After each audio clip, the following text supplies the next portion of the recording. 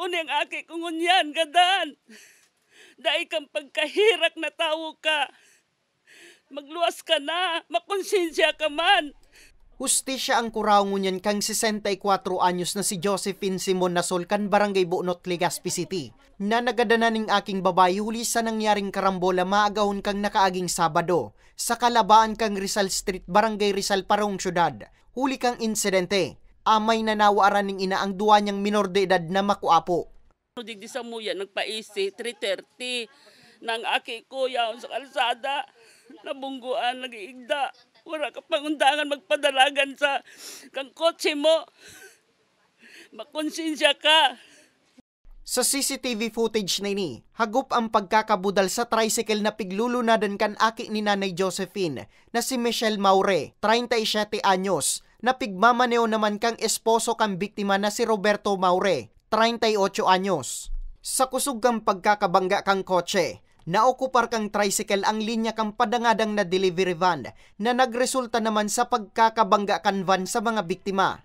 Sigun kay Police Executive Master Sergeant Henry Mirapuentes, ang Chief Traffic Investigator kang Legazpi City Police Station, gikan ang mag-agum sa Barangay Buraguis, asin pasiring kutang Legazpi City Public Market, ngani magtinda ning mga gulayon. Tulos mananaid dara sa ospital ang mga biktima, alagad dai na sunerte pang mabuhay ang biktimang si Michelle.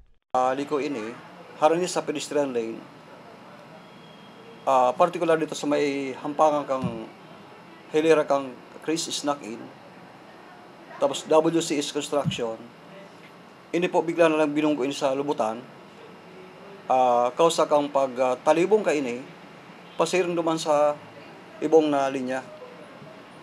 Pag uh, sa, sa kusog kang impact, ini po, timing man, pag pag uh, bundol ka ini, yaw naman so so kasalubong na van kang uh, Dunkin Donut. Uh, arado po ini kang uh, kang van more or less mga 18 uh, meters.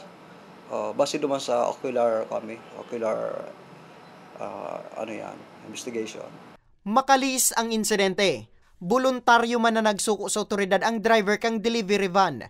Alagad ang driver kang nakabunggong kotse. An padagos pang pigahan na pastangunyan na marikas na dinulagan ang insidente. Aram ko po na aram kang driver na siya po nakabundol ki ki ano yan ki sarong sasakyan. Kuta ay tulos man siyang nag uh, nag uh, surrender.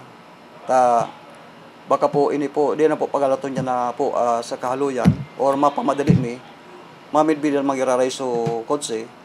Siyempre uh, ang inot ming sususugong kayo stock sa dire uh, base duman sa identification or uh, plate number kayo ito. Sa presente pigbibilara na ang bangkay kang babaeng biktima sa barangay Buonot, Legazpi City.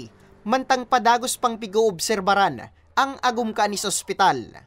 Para sa mga baretang tatak Bicol. Nomer Corporal